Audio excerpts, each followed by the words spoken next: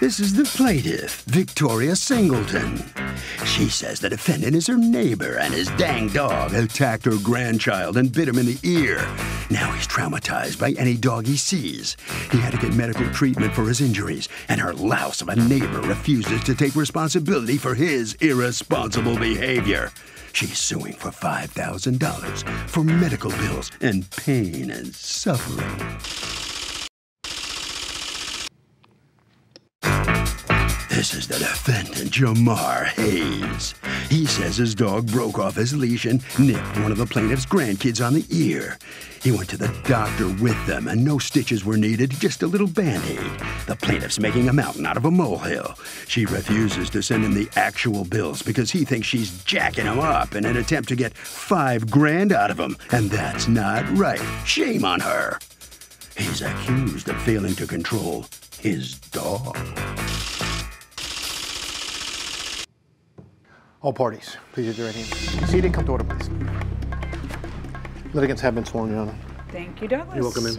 Uh, Victoria Singleton I am. and Keon Davis and his mother, neither of whom are here, correct? Correct. Right, that's my daughter Keon is my the boy who got bit, and his mom. You have power of attorney for the two of them. Yes. You're suing Jamar Hayes for five thousand dollars in medical bills and, but mostly in pain and suffering up to this point and future pain and suffering. What happened here? I was coming back from work and I had um, gotten in my house, and my grandchildren, Jaden Key, he's the oldest one, and the twins. How old are you, Jaden? 11. 11. And who's the gentleman with you? My My name is Alex. My son. I'm her, her son. Okay. The and uncle. so what happened? Okay, um, they had just gotten back from school and they were walking like they always Actually, I guess I should ask Jaden because you didn't actually see what happened. No, you I saw was in the the house, aftermath. yeah. All right, let me talk to you. What happened, honey? Okay, so on our usual route home from the bus stop, we um, we start walking, and then we see Mr. Jamar's dog. He comes, he comes out and runs out, and comes up and bites my brother's ear. Okay, I have a couple questions for you. Who's we? Who was with you? Uh, me, my two little brothers, and my friend. Okay, and your little brother Keon is how old? Six, And how old is your other little brother? six. They're, They're twins. twins. They're twins. Yes. Okay. So, what kind of dog did uh, Mr. Hayes have? Um, I think it was like a pit bull. What kind of dog do you have? It's a border collie. A border collie. Border collie, yeah. Okay. Do you have a picture of your dog? Yes. May I see it? Thank you, sir. Mm-hmm.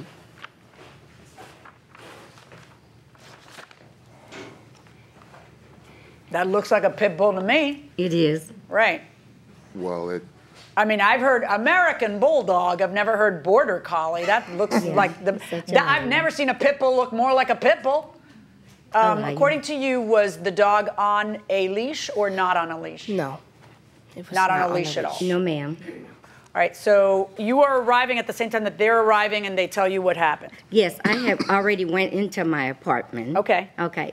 And then Jaden came running. He said, Mama, uh, Keon just got bit by Mr. Jamal dog. And I said, what? And then I ran outside. Now, had you ever seen that dog loose before? I have seen that dog loose many times. And Jamal knows that I have cursed you out. Wait, wait, You talk to that. me. Don't curse Yeah, him out in my No, no, no, courtroom. I have, Don't because remind him his about dog. how you curse Yeah, him out outside dog. of my courtroom. No. Talk to me and Okay. look at me. We have okay. to have order. Jamal and I has had run-ins about his dog because that dog, he always say, it's not gonna bite. How many times, Jamal, I've said, get your freaking dog. I'm coming out of my apartment. You need to get him on the leash. And you know this, Jamal. And Okay, just- don't talk to him directly. Okay. Talk to me. Okay, and two weeks ago, two weeks ago, I was coming out of my apartment. After the bite? Yes, ma'am. Okay, two weeks yes, from ma'am. I was coming out my apartment at 5:15 in the morning, and there jo- uh, Jamal got the dog using the bathroom. It's not on the collar, and he know I looked across. I said, "Well, I be got." It's 5:15 No, in the morning. don't- don't- don't I hear. understand. Yeah. I'm sorry. I'm sorry. Jamal was he was nice, but he's a liar. He's nothing but a big old fat liar. Well, okay, because let's he didn't not do. Stop, anything. stop. You're going to Okay. have to take a chill pill. Okay. Don't call somebody fat. No, no, I say fat liar. Oh, as in just a, a Just really immense lying. liar. Just a liar. Just the best liar. Yes, ma'am. No, ma'am. Uh-uh. I wouldn't call him fat. Okay. No, ma'am. Mm-mm. Okay, well, just so long as you're just calling him a fat liar.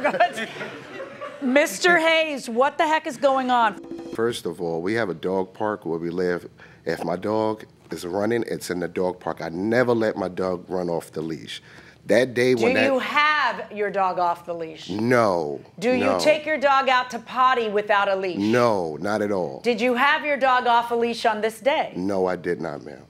I was walking my dog outside of my apartment On leash or off on the leash. The dog broke off the leash, ran towards the child, and bit the child. I ran, I hit the dog, got the dog back in the house. I even showed the grandmother and the police officer the actual leash that was broken and explain to them that the dog broke off of the leash. Well, then, I mean, either way, it's going to be your fault because you have to hold, you have to have control over your dog, and if you buy a leash that isn't controllable, then that's a problem. you know? Absolutely. But that it never happened, and that was the first time So that you happened. went. Okay. Did, did you actually see the kid crying and everything? yeah, I was there. I was actually taking care of the kid. And then what? At the time, I, I went to the hospital when it happened and I spoke with the mom and I wanted to make sure that the kid was okay. At that time, she stated to me, We're good, long as the dog had the shots. You good? You don't have to pay me anything. We're straight. I said, Okay, cool. A week later, I saw the grandmother coming home from work and I explained, Hey, is everything okay with the kid? I was still worried, you know. and then she just started going in on me like, mm-hmm. well, he's not okay because my daughter didn't even get medication for the boy for a whole week. She was irresponsible. I said, well, listen, ma'am, I'm sorry to hear that. You should have called me. We could have, I could have went and got it. I said, well, where's the medicine at now? Okay. Weren't you at the the uh, clinic that they went to? Yes. And um, there was some out-of-pocket charges there, and your credit card I was asked, no, denied. no, no, no. At that time when I went to the clinic, I asked the mother, was every, did she need me to help her with anything? Was So you never pulled okay? out a credit card that was denied. No. Okay. According to you, he pulls out a credit card and it was denied. Uh, my daughter said he pulled out his credit card, Oh, your but daughter it didn't told work. you that. Yes, you I, didn't I see didn't that. wasn't at the clinic. Why isn't your daughter here? Well, my daughter didn't want to come. She don't like, you know, this. But I take care of my grandson. And I told Jamal, no, you're responsible. You're going to take care of my grandson. You're going to pay for his pain and suffering. He had been in the hospital all week. All week. I said, Jamal. For so, wait, wait, hold on. He had already been in the in hospital, a whole week because yes, of what seizures? Epilepsy. Yeah. Okay. Yes, ma'am. Epilepsy seizure. And I told Jamal.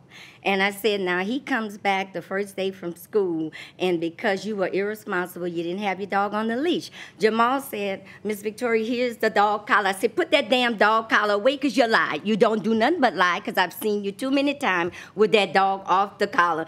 Come on, stop. Tell the truth.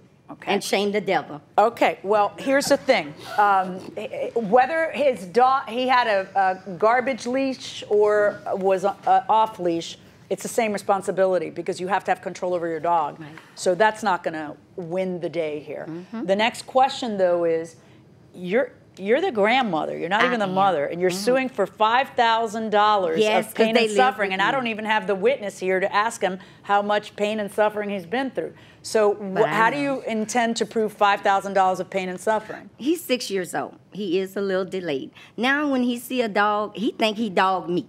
And if Jamal want to tell the truth, and Okay. that morning at 5:15, Jamal, Okay, do not talk to Jamal. Switch ma'am. places with the 11-year-old so I can Yeah, hear you. step out. No, That's ma'am. fine, ma'am. Ma'am, Stay where stay you are. Yeah. Go ahead. I'm the uncle. But again, the real point we're trying to drive home is that my nephew is scarred for life, right? Um, the, the, the scar is now keloid you have a picture of it? and swollen up. Yes, ma'am. yes. here's his pictures. And he's such a handsome little fella to have a scar that's on his face for the rest of his life. Face or on his ear? Ear, head, face. Oh, poor baby.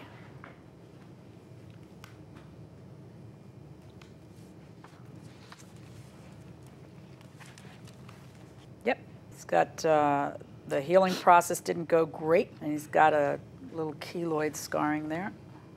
Wanted to talk to you again. What's your name again? Jaden. Jaden. Um, how often are you at, at your grandma's? Um, five days a week. Have you seen this dog before? Talk to We me. see the dog every time because me and my friends they come knock at uh, my grandma's door to ask if we could all go outside. So we all go outside and play And, around. what, and the times that you've seen the dog, is the dog on leash or off leash? Um, yeah, it's it's on, it's on a leash. On but a leash. And di- on the day that this happened, did you see whether he was on a leash or and broke free? he free? was not on a leash. On this day, it, it wasn't on. yes, Mr. Jamal opened the door to the apartment home, and the dog ran out. Welcome back to the People's Court. Harvey Levin here. Are pit bulls safe to be around little kids? No, they're not. Why do you say? Um, they're vicious. I think having a big dog around a little infant is just not good. What do you say? It depends on the way it's been uh, trained. If it So not always, but depending on the owner. yes, it depends. Okay, who's going to be the tiebreaker? How about the guy with the dog? Well, we believe that uh, it all depends on how, how well they're controlled. If the person's with them is controlling. I think they shouldn't be let free. Wouldn't it be ironic if, as I'm holding the microphone to you, that little dog just bit my hand? that would be very ironic. I dare you. dare you. Going inside the courtroom. The dog was on the leash this time. I showed the mother. Mr. Hayes, let me ask you a question. I got a dog who bites a six-year-old. Do you have children? Yes, I do. How old are your kids? My son is nine. Nine. Can you imagine? Do, can you remember when he was six? Sometimes it's hard to think back. Yeah. Can you imagine, imagine what it's like to get bit by, and why is your dog biting kids anyway? That Well- tells me a lot. Well, Um, the, the so- dog. The, I guess the dog must have got you know What? excited when the kid was you know and jumping bit? up and There's down. no, no, that's and, not the know. normal reaction. That tells me that this dog needs a little training. And, you know, but the bottom line is, how can you think it's worth zero? You can't possibly think it's worth zero to be bitten by a pit bull. Absolutely not. So I am gonna, I- I realize that there were no stitches. There's other kind of pain and suffering also, not just the pain from the wound, but, you know, um, it's, it's not easily quantifiable because the child's not even here for me to ask. Um, but other family members are testified to, so it's there. So um, I am ordering you to pay in the name of Keon Davis, okay? I am going to order you to pay him $500 that he is going to be able to take to Toys R Us and buy himself whatever it is he darn well wants that will hopefully go some way towards getting him over his fear of dogs. Buy him a dog. That's what you should do. Buy him a dog. Maybe Keon wants his own dog to be able to, fro- from a puppy, and to be able to maybe get over this. That's my verdict. Verdict for the plaintiff Keon in $500. Listen to me. I want, I want to be very clear on something. You are now on notice that your dog bit a child. That dog shouldn't be outside without a leash, and if it were my dog without a muzzle, that's what I would do because I would be very worried that that dog was going to do it again and that maybe next time it was going to be a much graver situation. Okay?